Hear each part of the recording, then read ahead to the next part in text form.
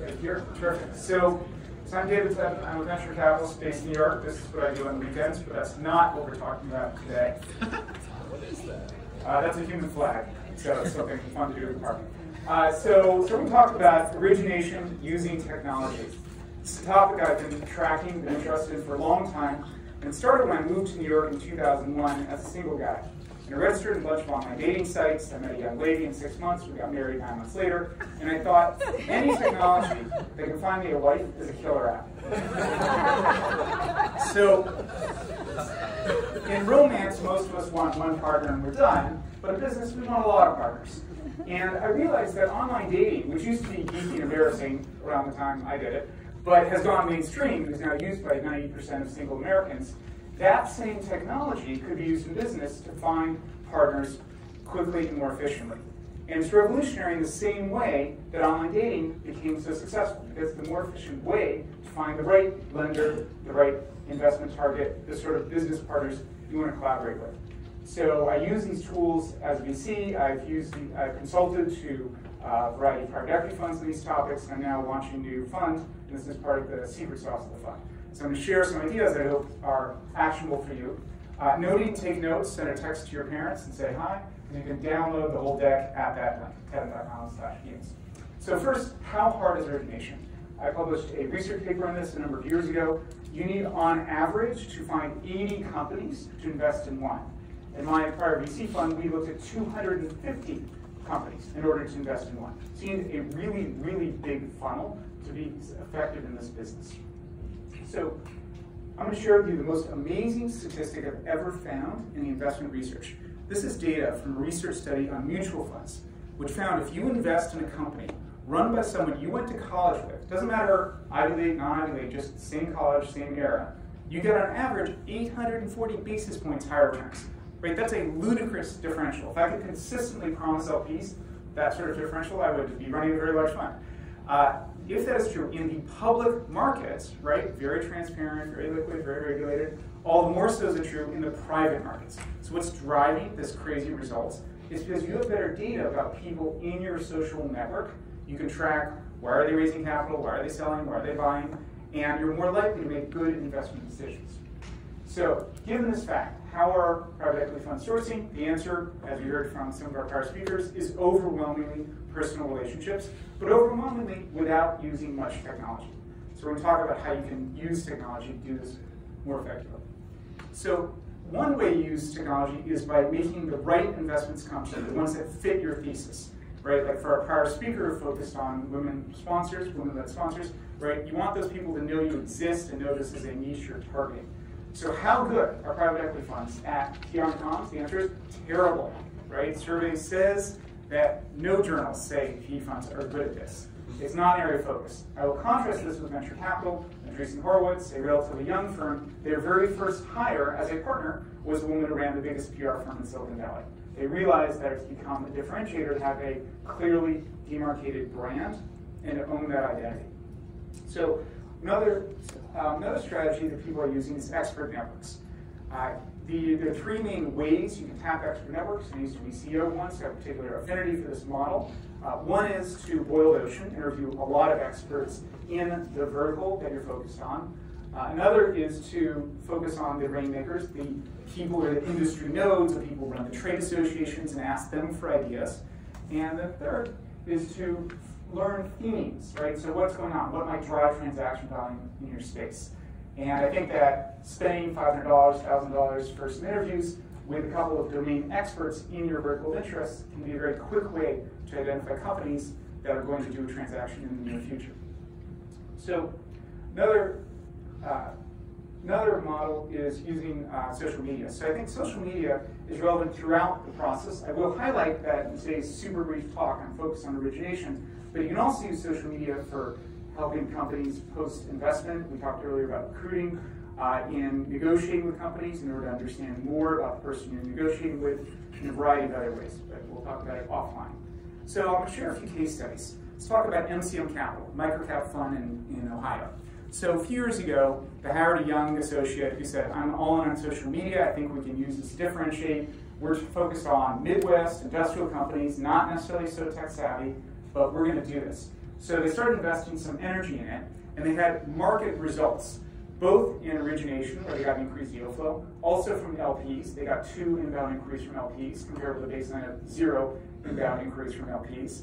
Uh, and they continued to invest a few hours a week collectively across the firm because they believe that that, and they've seen that that gets them better results. Um, so another pattern I'll highlight is the best investments typically show signals that mark them as potential investments. One of the great challenges in private equity is you don't know if the company has any interest in talking to you. In VC, we just assume they're running out of cash in the next 12 months. They don't raise money, so we don't have this problem, but you do. So there are a variety of signals you can notice using a variety of tools that will tell you, yes, this company is raising in the near future, or needs to. So from the CEO, the three Ds, death, disease, divorce.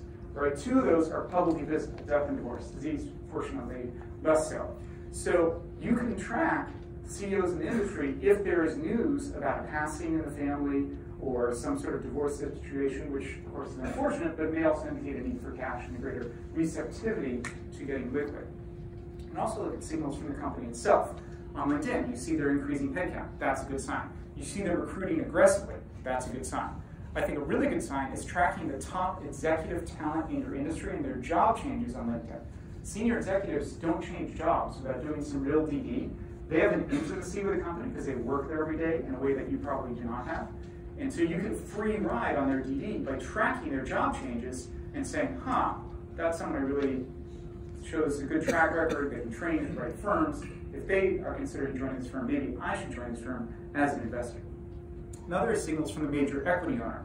Private equity funds that are getting long in their in their cycle and need to exit, right? The problem with P funds is they are a little sophisticated, right? So maybe a less attractive negotiating component, but nonetheless, that's part of the business. So it's good to know that they're late in their fund cycle and they really could use an exit, especially if they're having challenges in raising that next fund. Another set of signals are from the broader industry, either the local industry or the broader one. So typical small town America, right? Visualize it. In the Midwest, there are four significant companies in that town, which are the major players, right? They support all the local baseball teams and whatnot. One of them has an exit. What do you think happens to the other three CEOs? Right? They're all friendly with one another. They all go golfing together and have dinner together. And one guy's saying, "Yeah, the fund treated me well, hopefully, and uh, enjoying some free time and spending time with the grandkids." That is going to prompt the other guys to think a little more seriously about the possibility of considering exit. So that's another marker, knowing what sales have happened in a given microgeography in the recent past. That might justify you spending a little more calories on flying out there and getting to know the people in that geo. So another set of tools are the biography and analysis software platforms. LinkedIn everyone knows, but there are others that are more special purpose. For, for example, relationship science, which tracks the top 1% of America, the people who sit in corporate boards, sit in nonprofit boards, uh, where are they giving money, what are they involved with, so you can get the right path to a given influencer who has decision-making power over a potential transaction. Also highlight tools that analyze corporate org charts. So these vendors give you insight into who runs M&A at a large company, who you might want to target as a potential buyer, uh, or who within your ecosystem might have affinity with you. So you have a higher success rate when you reach out to people with whom you have some affinity. On my first slide, you remember that photo of the, the phone uh, booths, right? That's because cold calls are what we want to avoid. When you reach out to people went to your college, right, maybe they're from the same country you're from or speak your same language, your same mother tongue, those all increase the likelihood that they will respond positively. I know one firm that does outsourced sales development and they use different names of different ethnicities when they target different targets right? Because people respond differently when they see a name that's outbound from the same ethnicity, right? I'm not saying it's good or bad, this is the reality of sales, and we're all salespeople when we're in origination. So another tool people I think underuse are email lists. So case study, Daniel Zamino, prominent French angel. He graduated from Stanford Business School. I'm sure some other folks here went to prominent schools, right? But another thing he did is he joined all the relevant email lists for grads of Stanford Business School who work in tech and are interested in angel investing and he sent an email saying, I'm an active investor, and by the way, I'm an investor in a company that's looking to raise a round. Lawyers in the room might say, not good, yeah, don't do that, general solicitation. He did it. Uh, and that resulted in a significant infusion from a prominent investor in Silicon Valley into one of his portfolio companies. What I highlight here is not going to Stanford, which I recommend if you get in, but taking advantage of the online networks that all of the universities make available for their alums. On LinkedIn, Google Groups, right, whatever groups are out there. So another tool is SEO, search engine optimization. Most firms have a website and there's some modest efforts to SEO it. I find most firms completely fail to SEO, search engine optimize, the individual profiles of the people who work at the firm. Everyone in your firm, right down interns, should have the same description in the top line of their bio and should be keyword rich, right? Should highlight, for example, have words in it for industrials, pipe fittings, oil and gas, right? Whatever the right terms are for your particular strategy. Why? Because you want that everyone else out there in the ecosystem, when they search for PE funds who are interested in oil and gas, even your intern shows up. Doesn't matter they're an intern. They are a representative of your firm, right? You want them to get them that email saying, oh, I have a transaction and I think it might be relevant for your firm. So another case study, Hamilton Robinson, lower mid-market firm in Connecticut. One of the partners went to Darden and he put an ad on the Darden job board saying, we are looking to back CEOs in management buyouts. That ad to someone who didn't go to Darden, who said, okay, yeah, I'm interested. I'm working for a seven-year-old, and I'd like to have some cash to buy him out. And that's what happened.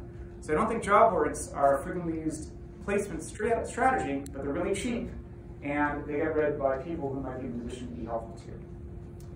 So another channel is figuring out the right media to connect with people. The academic research in this shows that the more channels you use and are available on and can engage with people on, the more comfortable people are with you. It's no different than if you're in France, right? If you speak French, you have an advantage. You're going to connect better with the local francophones.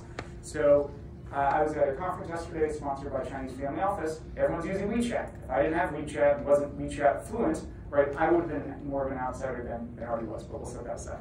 So so I encourage you to register for the different communication channels that are normative in your industry and be bilingual. It's a heck of a lot easier to get comfortable on WeChat than it is to actually learn Chinese, which I haven't done. So another standard tool is CRM. And that sounds obvious, but I've published research in this, and most P funds don't have a CRM that is used firm-wide. It's not enriched, it's not tagged with data about who's in it. And it also is not fully uh, uh, mandated across particularly senior partners who often are a little technology first, depending on age. So I would make it absolutely mandatory, model it, right, as a, a partner of the firm, and tell the junior people if it's not tracked in CRM, you're not compensated on it because we assume it didn't happen. And that's going to enhance the platform value. Uh, I would also, I'll highlight online communities for, for executives. One of the patterns we see in online communities is more senior people want to gate themselves. They want to associate with people at their same level.